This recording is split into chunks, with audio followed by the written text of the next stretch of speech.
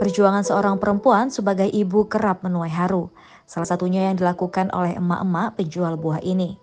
Melalui sebuah video singkat, akun Instagram @memomedsos membagikan kisah seorang ibu yang rela berjuang berjualan buah di tengah laut. Perempuan tersebut menggunakan sebuah perahu kecil saat berjualan. Dia terlihat bersama seseorang yang mengemudikan perahu. Pakaian yang dikenakannya terlihat basah, sehingga membuatnya sesekali menggigil kedinginan saat diterpa angin laut.